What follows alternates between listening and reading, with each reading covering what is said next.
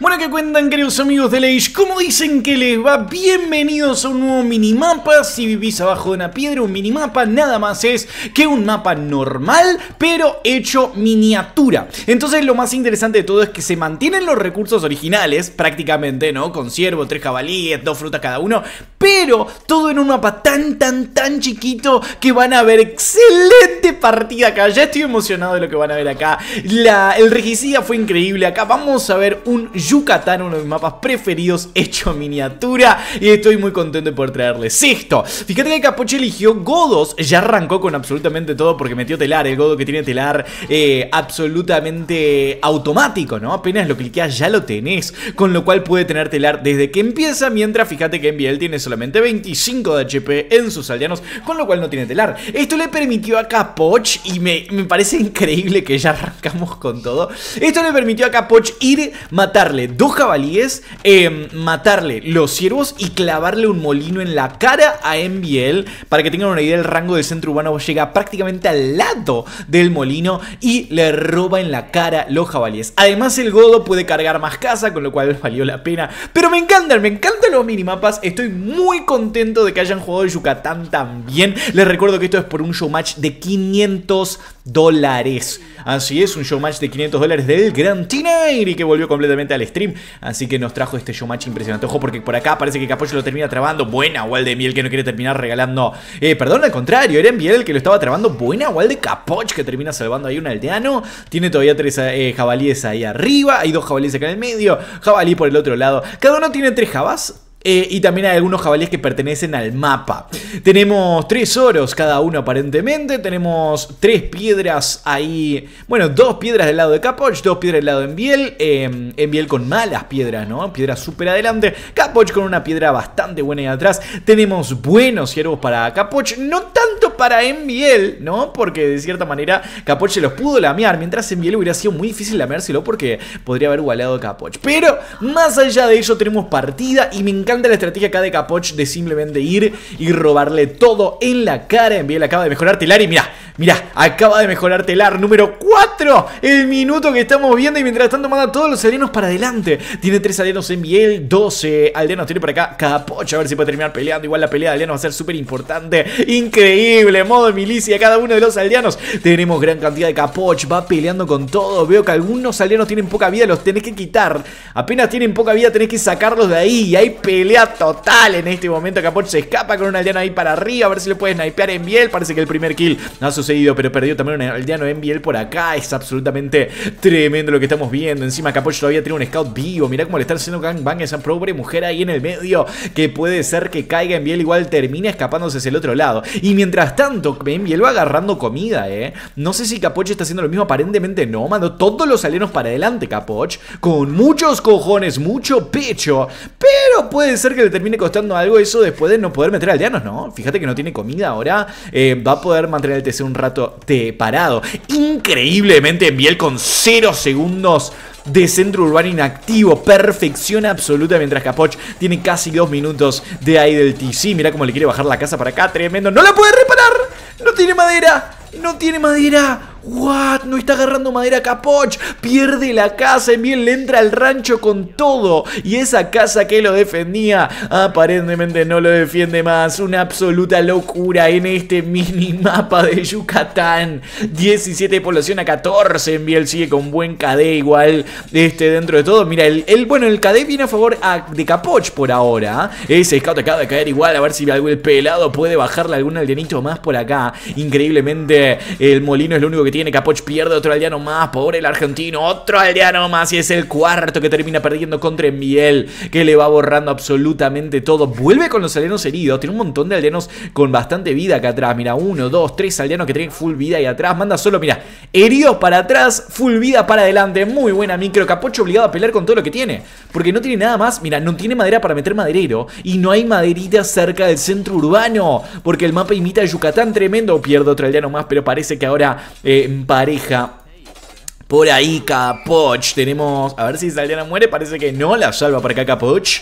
4 barra 4 el Eco KD. Sensacional partida hasta acá. Mirá cómo traba la aldeana. El aldeano que tenemos adelante, hermoso. Muy buena micro de Enviel ahí. Otro aldeano más se termina llevando 6 barra 5 el EcoKD. Y esto que va creciendo cada vez más. Impresionante. 18 a 9 la población. Capoch me encantó como tomó la iniciativa al principio. Pero la verdad es que Enviel con su micro manejo ahí matando aldeanos y sobre todo con sus 0 segundos de centro urbano inactivo. Esto es un TC inactivo de alguien que está jugando Selva Negra, amigo. Y el chabón está jugando mini Yucatán, está peleando el minuto cero y aún así logró mantener el centro urbano produciendo todo el partido. Envidiable manejo económico de MBL, sensacional. Capoch que tuvo 3 minutos 28, pero a ver, se le entiende a Capoch, ¿no? Obviamente estuvo peleando con aldeanos, estuvo mirando siempre el medio, así que obviamente hay una gran diferencia, pero increíble, ¿no? Creo que más que negativo Capoch, muy positivo en de haber mantenido ese cero. Para mí lo de Capoch es normal, o sea, mantener 3 minutos 30 debería ser normal. Enviel le da para meter el madrero arriba. Fíjate cómo Capoch terminó guardando una partecita acá, incluso hasta busca un jabalí por acá. Así que volviendo con la, casa que había quedado ahí entre los jabalíes, Capoch que vuelve con todo para adelante a ver si puede terminar pegando nuevamente. Mirá cómo se vuelve ahora así con el Java. No, no cliqueó feudal todavía, pero podría hacerlo. Tiene tres aldeanos ahí en la cola Enviel. Tres aldeanitos en la cola tiene, con lo cual si los cancela a lo mejor sube. Ahora tiene cuatro aldeanos en la cola y Capoch tiene dos. Dos aldeanitos en la cola tiene Capoch. Hay que ver quién es el que va a dominar. Me parece que pasar a feudal primero igual es una ventaja enorme por las torres también. Fíjense el mapa que hay. O sea, si Capoch puede poner una torre, le saca los dos oros y todo. Si Enviel puede poner una torre, también le saca todos los oros. Capaz que la piedra está más difícil porque Capoch es una excelente piedra, pero el oro se lo puede sacar completamente. Adriano para adelante, sigue pegando por acá. Capocho obligado a volver por ahí. En Biel en cualquier momento debería subir. ¡Guau! Le está pegando al molino. Le está pegando al molino. Increíble lo de Enviel, que está agarrando bastante madera. Busca otro jabalí que le pertenecía al mapa. Que claro, muy lejos que digamos no está. Mira esto, es increíble. Es muy gracioso. Parece Yuka. Eso es lo mejor de todo, amigos. Lo hermoso del minimapa no es que... Eh, no es solamente el hecho de que es chico. Porque chico puede ser cualquier cosa, ¿no? El tema es que es igualito a Yucatán. Es igual. Si no te das cuenta que es un minimapa y mirás esto, podrías decir que es Yucatán, ¿me entendés? Un montón de ciervos, dos frutas, eh, la, jungla, el agua, que también es Yucatán completamente. Me encanta, me encanta con totalmente increíble acá el troll de Miel que coloca el molino donde había tenido el molino Capoch. Ahí para causar más daño a la herida. Y ahora acaba de clicar a la de los feudos por acá en Miel. Va a querer subir a feudal. Está metiendo un campamento minero, ¿eh? Está metiendo un campamento minero es muy posible que quiera jugar torres por acá. Incluso está agarrando oro ahí a la derecha. En aldeanos tenemos 29 en población a 20, ¿eh? así que una gran diferencia ahí. Pero Capoch es godo, ¿eh? a lo mejor si puede meter una especie de FC, capaz que agarrar piedra y meter a buscarle. Debería estar en muy buena posición, sobre todo contra un inglés, quiero creer. Que obviamente arquero no va a poder jugar contra buscarle, así que vamos a ver si aguanta Capoch. Creo que Miel igual tiene una ventana de tiempo para hacer mucho, mucho daño con este UP a la edad feudal. El scout que tiene adelante también le da muchísima información en Biel. Por más que el mapa sea chico, es muy importante ver a dónde están los alienos de tu rival, ¿no? Porque si vas a jugar torre como parece que lo vas a hacer, probablemente saber a dónde vas a tener que poner las torres es muy importante. Él todavía, por ejemplo, no ve la gran piedra de Capoch, pero los oros adelante sí los ve. Y acá Capoch ya debería poder subir a la edad feudal. Eh, tiene 500 de comida, así que me parece que lo único que le faltaría ahora es un molino, creo, ¿no? Tenía un molino lo, bueno, lo bajaron al molino. Probablemente no necesite poner otro. Creo que una vez que ya lo pusiste ya está, podés subir. Eh, puede ser que esté equivocado en eso, así que no me, no me citen. Pero poniendo una torre adelante en miel y esa torre, la verdad, va a ser muy difícil de frenar por parte de Capoch que pone un molino ahí cerca de las, de las frutas. Probablemente sí le faltaba eso para subir. Va, no sé, manda algunos arenos para adelante para acá Capoch. Mira cómo walea en bien la torre. Muy buena, Wal. Rapidísima ahí para walear el Noruego. Y mira cómo waleó arriba también para que no se pueda escapar. Eso es la exploración, camaradas. Eso es la exploración. Y mira cómo pone acá en el medio también. No puede terminar pasando Capoch hacia atrás. Está pasando a feudal el pelado, pero con esa torre en contra puede terminar doliendo un montón. Puede doler más aún si no se escapa y pierde aldeanos. A ver si puede terminar borrando esa empalizodinia. Parece que Enviel no lo puede terminar reparando. Ok. No la repara, con lo cual la torre ahora de Enviel puede terminar cayendo. Increíblemente Enviel Castillos. Parecía que era un full trush. Para mí, Capoch va a ver esto y va a decir, bueno, está full trush, estoy pasando a feudal, yo voy a meter FC y voy a meter a buscarle, estoy bien todavía, la puedo ganar. Pero claro, Enviel estaba preparando su fórmula mágica atrás, ya pasando la de los castillos. Mira cómo repara la torre que tenía ahí atrás. ¡Uh! ¡Uh! La jugada. Delete a la casa, Capoch. Una jugada hermosa de un lado, jugada más hermosa aún del otro. Ahí Capoch rapidísimo en deletear la casa. Qué gran jugada. Cómo me gustan los minimapas, por Dios.